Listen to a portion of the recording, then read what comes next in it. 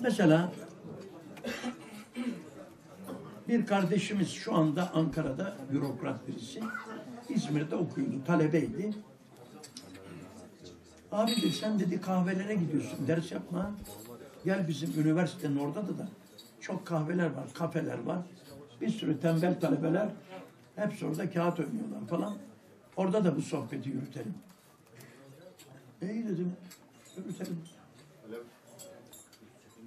Gittik bir gün bir kahveye onunla beraber. O kahveciye söylemiş. Kahveci demiş ki gelsin hoca. Niye açık kapatıyorum? Üşüdü mü millet? Ha? Ha iyi, üşü, üşüdülerse iyi kapattı. Kahveye girdik. Herkes kağıt oynuyor. Kızlar, erkekler birbirine. Ya bak böyle Amazonlar gibi. Kahveci bizi görünce böyle yanaştı. Kahveci siz misiniz? Evet dedi. Kardeş biz bu arkadaşlara, bu kardeşlere bir şeyler anlatmak istiyoruz. Bu anlattığım 30 sene önce. Müsaade ederseniz dedim. Ne anlatacaksınız dedi. Dini, ahlaki, imani şeyler. Ya dedi bunlar hepsi dinsiz. E ya dedim dinlenirler. Madem ki dinsiz, anlatalım ki dinlensinler. Değil mi? Bak dinlendim de dinle ilgili. Dinlendim bugün diyor bak. Din insanı ne yapıyormuş? Dinlendiriyor, rahat ettiriyor. Yok ya abi dedim adam. Sen bilirsin bak sonra karışmam, mesuliyet kabul etmem. Ne gibi? Dedim bak öbür tarafa gittiğimiz zaman bak bu arkadaşlar bak için orada bana bakıyorlar. Diyecekler ki bu abi bize bir şeyler anlatacaktı dinden, imandan. Bu müsaade etmedi. O zaman işin dedim sakat. Görürsün sen orada. Çıktık. Öbür kahveye gittik. İşte o kardeş de üzülüyor. Üzülme dedim. Bütün kahveleri gezeceğiz. Öbür kahveye gittik. Gene böyle kahveci. Merhaba, merhaba bey. Dedim delikanlı. Biz bu gençlere bir şeyler anlatmak istiyoruz. Ne gibi abi dedi. Dini, ahlaki, imani. Abi ya dedi. Bunlar hepsi komünist dedi. Olsun mu abiciğim dedim. Bırakırsa daha fazla komünistleşirler. Ortağıma sorayım abi dedi. Mehmet. Ortağına soruyor. Soruşa bak. Abi burada din dersi vermek istiyormuş. O da diyor olur mu abi burada tövbe tövbe çarpılırsın. abi dedi bak şurada cami var. Oraya git vallahi. Dedim ben o camiden geliyorum biraz önce. İki tane ihtiyar var ölmek üzere. Bu adamlar oraya gelemiyorlar ki bak işleri var burada meşguller. Dedi abi dedi ben İmam Hatip terkim dedi. İstersen sana hatim bile okurum. Vallahi hiç unutmuyorum aradan 30 sene geçti. Dedim kardeş sen dedim ölmüşlerine oku ben de okurum dedim. O da müsaade etmedi. Başka bir yere gittik. Orası biraz daha böyle lüküs bir yer. Böyle bir kabin var. içeride birisi oturmuş. Oradan gelenlerinden parayı alıyor yani. İçeride oynuyorlar. Yanaştım. Merhaba beyefendi dedim. Kibar birisi. Merhaba efendim dedi. Dedim müsaadeniz olursa, çok kibarım ha. Müsaadeniz olursa bu arkadaşlara ahlaki, imani, dini bir şeyler anlatmak istiyorum. Vallahi çok iyi olur beyefendi ama dinlemezler dedi. Dinlerler, dinlerler. Teşekkür ederim dedi. Müsaade ettiğiniz için. Müsaade falan etmediler. Tırnak daldık içeri. Dedim Faruk müsaade ettiler. Girdik içeri. O onlar taktım. Merhaba gençler. İyi dedim. Kağıt oynamak için vakit bulabiliyorsunuz. Bir şeyleri verdiniz herhalde falan. Biz sizin gibiyken, sanki üniversite okumuşum ben. Sizin gibiyken böyle kağıt oynamaya vakit bulamıyorduk falan filan. Neyse dedim siz bu konuları biliyorsunuz. Şimdi dedim size bugün hiç duymadığınız bazı konulardan bahsedeceğiz. Mesela ben neyim? Nereden geldim? Nereye gideceğim? Vazifem nedir? Bunu bu soruların cevaplarını bulacağız burada. Şimdi çıksak kemer altına. Kemeraltı en kalabalık yer. Elimize bir mikrofon alsak. Karşıdan geçen birse, beyefendi, dikkatli olun. Size üç tane soru sor- soracağız. Bunların cevabını güzel verirseniz size ödül var. Necisin? Nereden geliyorsun? Nereye gidiyorsun? Adam diyecek konfeksiyoncuyum. Altın Dağ'dan geliyorum, Karabağlar'a gidiyorum. Öbürü. Kardeş çok dikkatli olun. Üç tane sorumuz var. Manevidir. Necisin? Nereden geliyorsun? Nereye gidiyorsun? Kunduracıyım. Alsancak'tan geliyorum. Nazilli'ye gidiyorum. Geç. Bakın onun cevabını veremezler. Ama biz şimdi onun cevabını ise okuyacağız, anlatacağız falan böyle. Ondan sonra baktım bunların yarısından fazlası kağıtlar ellerinden attılar. Dedim mesela bir ineğe desek inek ne yapmaya geldin dünyaya? Maça gitmezsin, dans etmezsin, bira içmezsin, kahveye gidip kağıt oynamazsın, plaja gitmezsin. İnek gibi yaşıyorsun. Gündüz çayıra, gece ahıra. Bunu mu yapmaya geldin? İnek desek. İnek şöyle kafasını çevirecek. Yahu diyecek, sen ne kafasız adamsın. Benim dünya ne yapmaya geldiğimi sen daha anlayamadın mı? Şu buzdolabını bir iç, aç bak.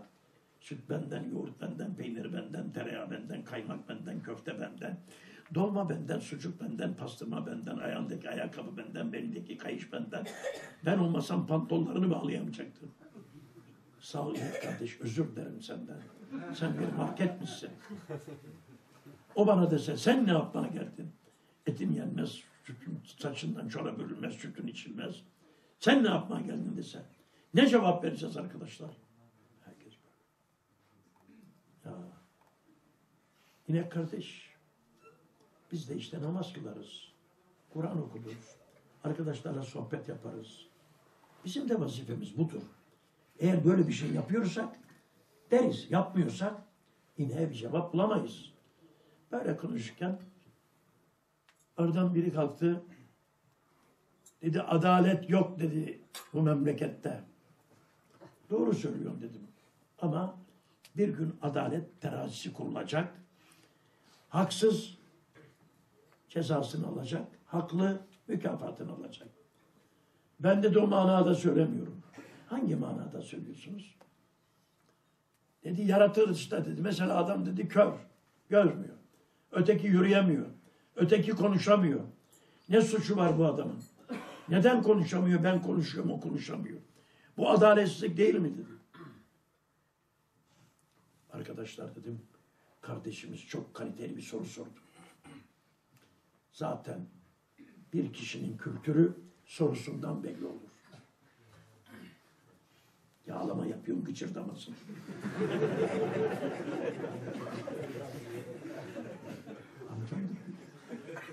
Sen güldür ben keyifleniyorum. ha. Şimdi dedim arkadaşlar, evvela adalet nedir onu öğreneceğiz. Ondan sonra var mı yok mu bakacağız. Kardeş yok dedi. Ben geçen gün dedim bir yerde arabamla benzin alıyordum. Akşam namazı girmişti.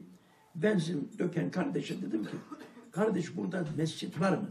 Namazı kılıp Bergama'ya gideceğiz. Öyle yaptı. Yok dedi. Sonra biraz durdu. Affedersin mescit ne demek dedi. Mescit sabah kahvaltısında çaylar iyi gider. Desem adam bisküvit var abi diyecek. Bilmiyor bak mescidi. Şimdi dedim adalet nedir ona bakacağız. Var mı yok mu? Mesela dedim bu kardeşimizle beraber ikimiz bir patronda çalıştık akşama kadar. 100 tane çuval o taşıdı, 100 tane ben taşıdım. Bana 1000 lira verdi, arkadaşa 500 lira verdi. Bu nedir? Adalet midir? Adaletsizlik midir? Ha? Adaletsizlik. İkimiz de. Bana da bin lira da ona versin. Adaletsizlik. Ama dedim şuradan içeri birisi girdi. Eline bir demet para. Bakıyor böyle. Al kardeş sana 100 lira. Al sana 200 lira. Al sen talebesin 300 lira. Bana da getirdi. 50 lira verdi. Ya adaletsizlik yapıyorsun. Hakkımı yiyorsun diyebilir miyim? Ha? Neden?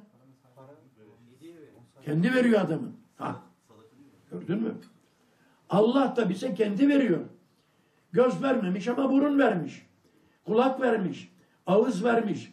Kalp vermiş. Akıl vermiş. El vermiş değil mi? Göz vermemiş.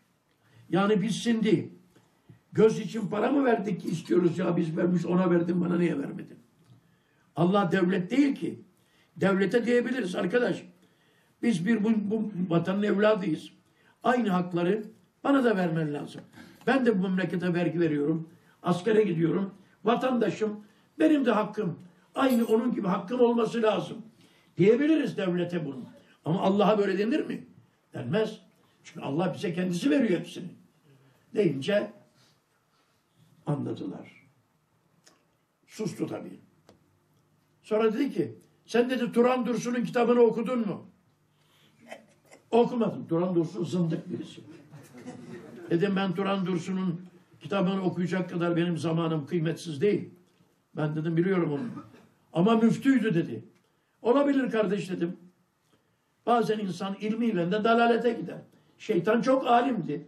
Bütün meleklerin hocasıydı ama şeytan oldu.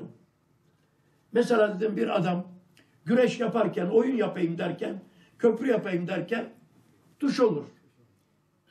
Dedim orada futbolcu kale ağzında kendi kalesinin önünde bir röveşata yapayım derken bir şötöröve yapar kendi kalesine gol atar. Atar. Oradan biri dedi şötöröve diye bir şey yok. Var dedim kardeşim ben eski futbolcuyum. Bir insan röveşatöyle kendi kalesine gol attı mı ona futbol literatüründe şötöröve denir. O da şüpheye düştü. Ulan var mı? Gitsin lügata baksın. Böyle. Ondan sonra muhabbet hoşlarına gitti. E bir gün böyle yine üniversitede ders yapıyoruz şeyde. Neredeydi o? Buca'da. Herkes dinliyor. Böyle kalabalık gençler. Bir tane kızlar da var. O da karşıya geçmiş. Almış eline bir raket pimpona vuruyor böyle. Tik tik tik. Benim konsantremi bozuyor. Tabii ya. Sen herkes böyle dinlerken oradan böyle yapması alay etmek gibi bir şey. Çünkü tahribat kolaydır. Tamirat zordur. Bu kadar insan burada dinliyor. Şurada birisi telefonla konuşsa bozar havayı. Bozmak kolay. Mesela bir bahçeye gittik. Çiçekler, ağaçlar, meyveler. Bir de affedersin pislik var orada. Birisi yapmış orada. Şimdi gözün devamlı oraya takılır. Ya o kürekle atacaksın.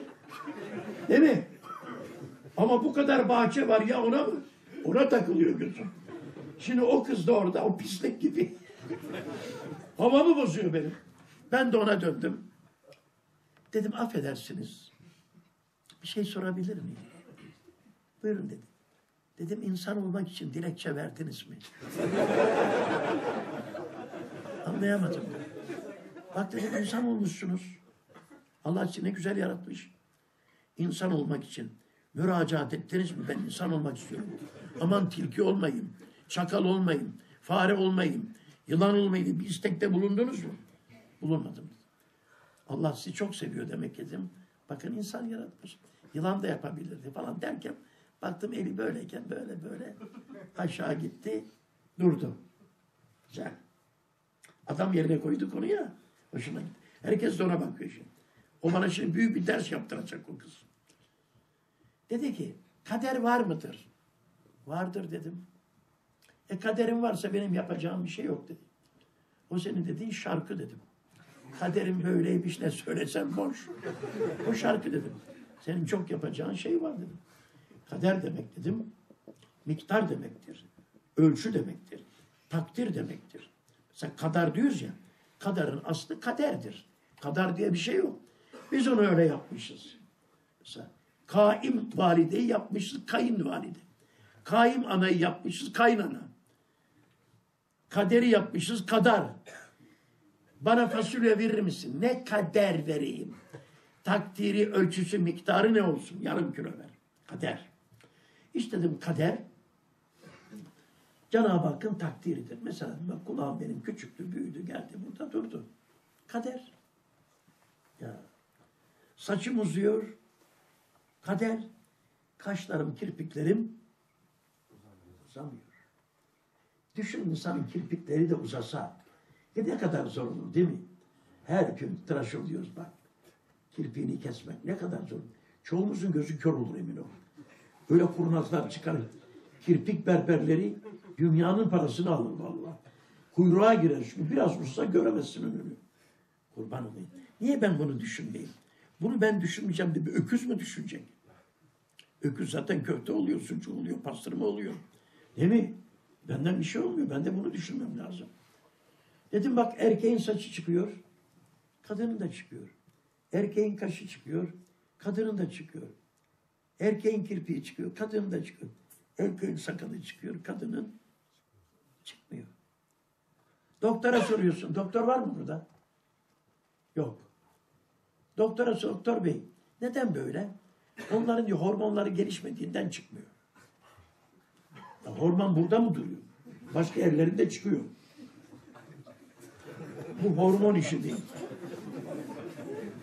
Bu takdir işi. Ne demesi lazım? Ya kardeşim tabii ki cinsiyet değişikliği var. Sadece sakal çıkmıyor değil. Başka şeyler. Birçok değişikliklerimiz var. Cinsiyet değişikliği var. Tabii ki öyle. Koç boynuzlu olur, koyun boynuzsuz olur değil mi? Şeftali tüylü olur, elma parlak olur. Kayısı tüylü olur, erik parlak olur. E tabii öyle olması lazım. Cevap veremedi doktor. Hocaya gidiyoruz. Tabii Risale-i Nur'dan haberi olmayan hocalar var. Klasik gittim. Hocam bu neden böyle? Estağfurullah. Hikmetinden sual Adam bilmiyor esasında bilmiyor. Demiyor vallahi ben bunu bilmiyorum. Yani bilmiyorum dese hocalığına halel gelecek diye estağfurullah.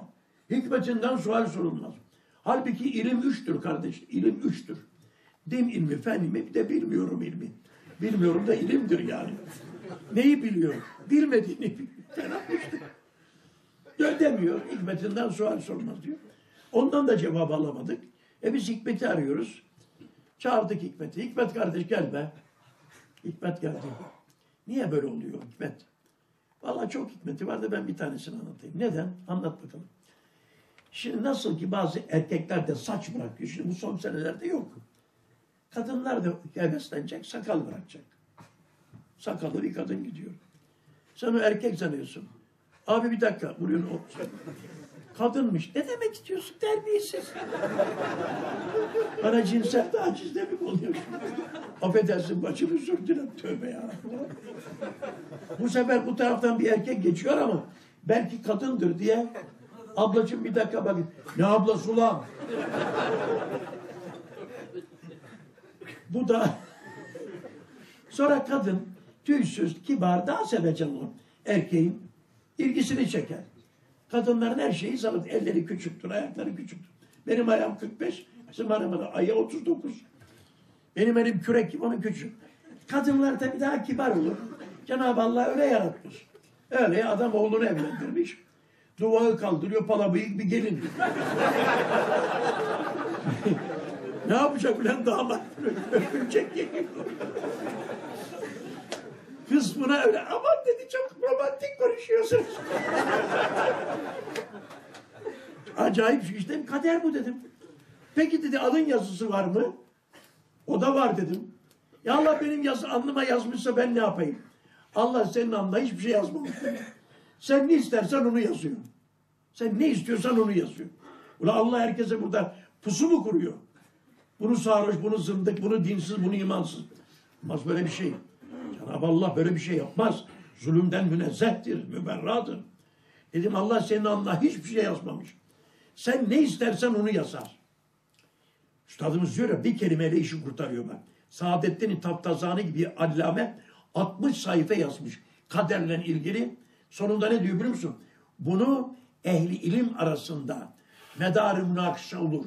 Avam tarafından olmaz diyor. Üstad altı sayfa yazmış. Orada ortaokul talebesi bile anlar. Diyor ki kader ilim nev'indendir. Kader Allah'ın ilmidir bak. Kudreti iradesi değil, ilmi. Bir fiil yapılması için ilim, irade, kudret olacak. Mesela börek yapacaksın. Börek yapmasını biliyor musun? Biliyorum. Ama iraden yok. Kalkamıyorsun ayağa. Yapamazsın. Kudretin yok. Tutamıyorsun. Felçlisin. Yapamazsın. Veya kudretin var. ilmin yok. Bilmiyorsun. Yapamazsın. İlim, irade, kudret. Bu üç sıfat bir fiilin yapılması için behema lazımdır. Başka sıfatlar da hikmet var, hakim var ama bu üç sıfat. Şimdi Cenab-ı Hakk'ın diyor ilmidir kader, ilmi. Yani nasıl olacak öyle biliyor. Senin yapacağın için biliyor. O bildiği için sen yapmıyorsun. O yazdığı için sen yapmıyorsun. Sen yapacağın için o yazıyor. Dedi biraz daha somut bir örnek verir misiniz? Somut. Ben somutu soyutu da bilmiyordum o gün. Ben soyut zannediyordum daha güzel görünür. Soyulmuş yani falan. Meğersem somut. Mesela bu somut. Evet. Seviyorum seni. Soyut görünmüyor. Dedi daha somut bir örnek. Anladım tabii çaktım işi. Dedim vereyim. Bak dedim karşıda bir birahane var. Hakikaten var. Orada da birisi içmiş, çok içmiş dedim böyle gidiyor. Ha düştüm ha düşeceğim. Sen de arkadaş, arkadaşla yiyorsun. Bak kız Aysel bu salak çok içmiş düşecek şimdi. Der demez adam düşüyor. Kafasını kolona vuruyor. Beyin kanamasından ölüyor. Cenaze yerde. Polisler geldi. Kim öldürdü bunu? Ben dedim sizi gösteririm. Bu öldürdü. Neden dedi ben öldüreyim? Düşecek dedim düşürdün adamı. Aa ne münasebet dedim. Benim düşecek dememle düşer mi dedi. İşte kader bu dedim. Sen ilminle onun düşeceğini bildin. Senin bilmen onu düşürmedi. O düşeceği için bildin. Nasıl? İyi mi? Fıstık gibi kader bu. O kadar. Allah kimseye aksın. Allah kimsenin anına bir şey yazmamış kardeşim ya. Bu sarhoş, bu kumarcı, bu hırsız, bu uğursuz, bu nurcu. Yok öyle bir şey ya. Peygamberimize geliyor Ebu Cehil elinde bir hurma. Ya Muhammed diyor. Bu benim nasibim mi değil mi? Bak buradan anlayalım. Yersen nasibin diyor. Yemezsen değil. İşte kader. Bak. Kaderim mi benim? Nasibim mi? Yersen diyor nasibin. Yemezsen değil. Bu dahi yeter bize. Kaderi anlamak için. Nasibin dese atacak, yemeyecek. Hayır senin nasibin değil dese ağzını açacaksın. Öyle cevap veriyor. Şimdi bu sefer ne dedi biliyor musun o kız? Hep kaçamak. Peki dedi bunu Tanrı dedi. Niye iki aşamalı yaptı? Şimdi aşamalar var. O zamanlar üniversiteye girme iki aşamalıydı. Şimdi gene öyle galiba. Dedi tek aşamalı yapsaydı ya. Madem ki biliyor herkesin nereye gideceğini. Ama dedim o zaman Allah'ın adaleti tam tahakkuk etmiş olmaz. Mesela senin adın ne dedim? Semra dedi. Semra kulum sen dünyaya ben seni getirecektim ama sen dünyaya gelince açık saçık geçecektin, içki içecektin, dans edecektin, benim emirlerimi dinlemeyecektin. Onun için ben seni cehenneme attım. Dese sen demez misin ya Rabbi benim ne başı, ne açığı, ne saçı, ne namazı, ne dansı ben böyle bir şey görmedim deyip itiraz etmez misin? Şimdi canım dedi öyle büyük zaten orada itiraz edilmez. Dedim yakalandın. Dedim burada itiraz ediyorsun bak. Niye tek aşamalı, iki aşamalı yaptı? Dayağı yemeden itiraz ediyorsun dedim. Dayağı yedin mi öyle bir itiraz edersin ki ortalığı çınlatırsın. Teşekkür ederim dedi. Yanıtımı aldım dedi. Böyle. O kadar insan da orada dinledi. Şikayet ediyorlar. Mesela diyorum arkadaşlar bakın Allah kavuna tat vermiş ağzımıza tat alma duygusu vermiş götür ya. Surat tat almaz. Alnına sür, ensene sür, bacağına sür, nereye sürersen sür. Tat almıyor. Buraya sürdüğünü tat alıyor. Ulan böyle. Şimdi dinliyorlar oradan bir tane kalkıp gidiyor. Komünist o saklılmış. Gidiyor öbür kafeye. O diyor birisi gelmiş dinci diyor acayip konuşuyor. Yok kavunu suratına sürersen tat almaz. Ağzına götürürsen tat alır. Çiçeği kulağına götürsen kokmaz. Burnuna götürsen kokar. Telefonu burnuna götürsen ses gelmez. Nerede lan falan yerde 15 kişi geliyor. Allah onlara da hizmet ettiriyor. Böyle. Tabi burada bu hizmet. Tabi şikayet ediyor. O zaman 163 madde vardı. Rahmetli Özal kaldırdı onu. Yani din propagandası yapmak suç. Telefonla şikayet ediyorlar polise. Polis gelmiş. Polis de tabii giremiyor. Kalabalık sırasında geçemez oradan. Geçemiyor. Dinlemiş. Ben de- o anda da yumurtayı anlatıyormuşum. Tavuk dedi mesela aklı yok, ilmi yok. Hemen trak bırakıyor. Kim yiyor bunu? Müftü yiyor, hırsız yiyor, polis yiyor. Alim yiyor, zalim yiyor, herkes yiyor. Bu tavuk dedi bizi tanır mı tanımasam Allah bizi tanıyor yumurta gönderir falan. Ya demiş hoca çok güzel konuşuyor ama şikayet var hakkında. Söyleyin sussun. Gelemiyor kendi. Demişler memur bey susmaz o. Tarasan susmaz. Ona bir konsantre olmuşum böyle susun lan attılar diyeceğim. Ulan demiş konuşsun hoca demiş. Kim şikayet ettiyse anasını avradını. Küfrediyor gidiyor. Bak şimdi. Bir gün böyle yine kalabalık baktım bir kot pantolonu bir kız küçük bir bebek almış kucağına bana doğru geliyor. Vay dedim ulan. Hocaya okutacak galiba. Hoca deli mi? Hani çocuklar ağlar ya gece falan. Geldi geldi geldi. Baktım çocukla. Bak ulan şeytan ya. Dedi beyefendi dedi niye sen bunları burada anlatıyorsun? Bu arkadaşlar senin bu anlattıklarından hoşlanmıyorlar dedi. Nereden biliyorsun dedim hoşlanmadıklarını. 10 kişi var dedim bak 200 kişi oldu, burası. Hoşlanmasalar bana demeyecek demezler mi? Yeter arkadaş kes. Seni mi dinleyeceğiz? Bunlar hepsi üniversite talebesi dedim. Dokuz Üniversitesi'nde olur. Üniversite talebesi dedim. Bunların medeni cesareti yok mu? Sen kimsin dedim. Bunların avukatı mısın? Ben dedi Selahattin Bey'in gelini. Selahattin Bey de o yerlerin sahibi böyle geniş yerler var. Azam. Zengin bir adam, namuslu bir adam öyle bir gelin. O komünist kızlardan biri. Türk filmlerinde o da çocuğu alır ağlattırır falan. O tabii ben onunla konuşurken baktım arkamdan arkada böyle cadde var bir de duvar var. Millet duvarın üstüne çıkmış dinliyor. Ben farkında değilim. Oradan biri dedi kızım dedi hocamıza ne sataşıyorsun? Ben bir saattir duvarın üstünde duruyorum dedi. Çocuklarıma bayramlık almaya gidecektim. İnemedim dedi. Adam ne güzel konuşuyor. Dedi burası talebe. Karışma lan dedi. Ne talebesi? Konuş hocam konuş.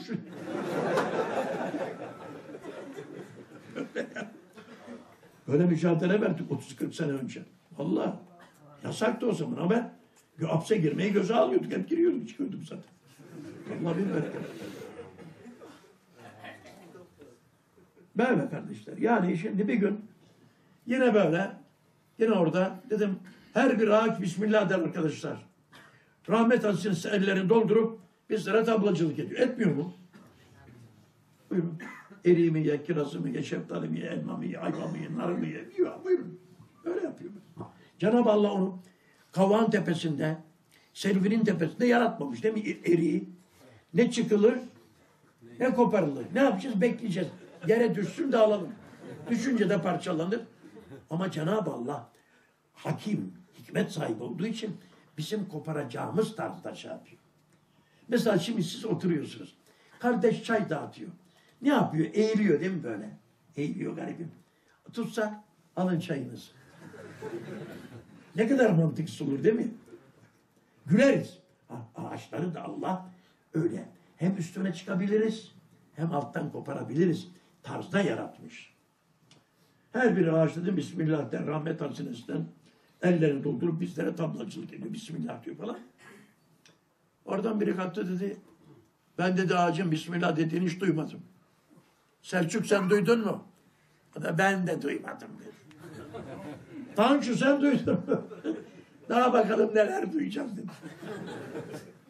Niye almak istiyorlar? Doğru, doğru dedim kardeş duymamışsınızdır. Duysaydınız tabii duydum diyecektiniz. Nasıl bir Bismillah duymak istiyordun mesela ağaçtan dedim. E dedi sen dedim Bismillah. Ya tamam ağaç bizim gibi Bismillah demez. Ağaç o dedim. Kendi lisanıyla söyler. Mesela dedim ağaç su içer mi? E içer dedi su dökersen dibine. içer. Öküz su içer mi? İçer. İnsan su içer mi? İçer. Şey bak. Bismillahirrahmanirrahim. Ama dedim su içişimiz değişik. Ağacın dibini hortumla tutuyorsun. Veya açıyorsun geliyor su. Sulanıyor. İneğe hortumla tutsam inek sulanmış olmaz. ıslanmış olur. Ona da bir kova götürürüz. Kafayı daldırıyor içiyor. Siz su isteseniz dedim. Kovayla getirmeye sahip ya. Ulan ben öküz müyüm? Sana da bardakla getiririz. İlham geliyor o anda ya. O anda geliyor. Dedim üçümüz de su içiyoruz ama su içimi değişik. Tabii ki Bismillah değişimiz de değişik olacaktır. Nasıl diyormuş dedi bak şimdi nasıl diyormuş. Mesela dedim şeye gidiyoruz. Yazın denize gidiyoruz. Denizde havlusuz biraz dolaşsak sırtımızın derileri yanıyor değil mi? Yandı mı hiç? Senin başına geldi mi? Sırtının derileri yandı mı hiç? Çünkü beyazları daha çok. Bilal sen yandın. Yanlışındır. Eski yanıklardansın. Senin yandı mı hiç derin? Denize gittin de sırtın yandı mı? Benim yandı. Yanmış bak. Bir Onu bir- sefer İstanbul'a gittim. Ha. Denize gidiyoruz dediler. Bizim dayı Yandım çocukları beni de götürdüler. Ben de yattım kuma uyumuşum. Sabaha kadar ağladım. Evde. Bak 8'den 80'e kadar ispatlı. E dedim bak biz yanıyoruz da incecik yapraklar bizim derimizden daha yumuşak. Aylarca güneşe karşı duruyor, yanmıyor. Bismillah diyor. Ey güneş, kardeş ben vazifeliyim. Altında meyvelerim var veya insanlar var. Beni yakma. Gölge yapıyorum ben diyor haliyle. Efendim İbrahim Aleyhisselam'ın Nemrud'un ateşi nasıl yakamadıysa güneş de o yaprakları yakamıyor. Bismillah diyor. Böyle biz anlıyoruz Bismillah. Ağaçlar dedim saçaklar toprağa dalıyor. Su arıyor. Şimdi kardeş mesela bu bardak burada değil mi? Aldım. Bu bardak burada olsa ne yapacağım ben? Böyle alacağım. Peki orada olsa ne yapacağım? Böyle uzanıp alacağım değil mi? Ha. Şimdi ağaç da saçakları ben ağaç dikmiştim bak çok enteresan. Sordum bir mühendise, ziraatçıya. Dedim kaç günden abi dedi. Ayda bir sula kafi. Çok sulama ağaç dedi tembel olur. Kök yapmaz. Su aramaya gitmez dedi bak. Suyu bulamayınca uzuyormuş saçaklar. Allah Allah. Allah uzattırıyor. Ya uzuyor uzuyor bir taşa denk geliyor taş. Taşın altında su var. Ama o taşın çatlaması lazım. Bismillah diyor taş kardeş. Yol ver bana. Taş da diyor sen madem ki benim Rabbimin isminle geldin ne diyeyim ben sana? Şak diye yarılıyor. Saçaklar aradan dalıp suyunu alıyor. Görmüşsünüzdür kayanın tepesinde ağaçlar. E o ağaç susuz yaşar mı? O aşağılara gitmiş oradan suyunu alıyor. Ya böyle. Dedim Bismillah diyor. Taş yarılıyor. Ne gibi? Adam orada durmuş. Polis böyle yapıyor. Koca koca kamyonlar dönüyor. Neden? Burada kokart var. Kanunu temsil ediyor. O da bir kanunu ilahi. Böyle yaptı. Bu dedi ilmi bir konu beyefendi. Bunun dinle imanla ne alakası var falan. Biz dedim ilmi konu anlatıyoruz. Burada hikaye anlatmıyoruz. Şimdi bak bilmesek Risale-i Nur kaldık orada kaldık. Ulan sındık öbür tarafta görürsün sen. Dedim biz de burada ilmi konu anlatıyoruz. Hikaye anlatmıyoruz. Dedi o saçaklar antireoksit bilmem ne salgısı salgılıyor. O salgı dedi taşı parçalıyor. Doğru dedim bir salgı vardır dedim. Bizde de salgı var. Bizdeki salgı dedim lahmacun salgısı, köfte salgısı, baklava salgısı, börek salgısı. Öküzde de salgı var. Arpa salgısı, saman salgısı, yarma salgısı. Öküz dedim fırıncı küreği gibi daldırıyor samana, salgılıyor. Sen bir kaşık saman ağzına koy. Hastanelik olursun. Yapışır kalır, salgılayamazsın. Ama san dövücü ısırıyorsun, salgılıyorsun. Çünkü bizdeki salgı saman salgısı değil. Börek salgısı, dürüm salgısı, lahmacun salgısı. Öküzdeki salgı saman salgısı arpası saylalı kalktırıyor. Dedim, Böyle. Bize lazım olan salgıyı bize, öküze lazım olan salgıyı öküze, ağaca lazım olan salgıyı da ağaca yaratan bir güç var.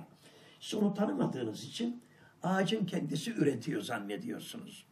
Ağacın kendisi üretebilmesi için ağacın bilmesi lazım. Ya arkadaşlar bu taş bize yol vermiyor. Bir madde üretelim, bir analiz, bir sentez, bir laboratuvar kuralım. Ya şu büyük ağaç abiye soralım. Bize yardımcı olsun bu konuda. Bu taş bize yol vermiyor. Bunların hiçbirini yapamayacağına göre demek ki onu yönlendiren bir güç var. O salgıyı orada yaratıyor, taşı parçalıyor. Kaldı orada şimdi bu. Tabii dedi fizik ötesi bir metafizik güç var dedi. Allah demiyor metafizik. İşte sizin metafizik dediğiniz sonsuz kudret, ilim, irade sahibi bizim Rabbimizdir dedim.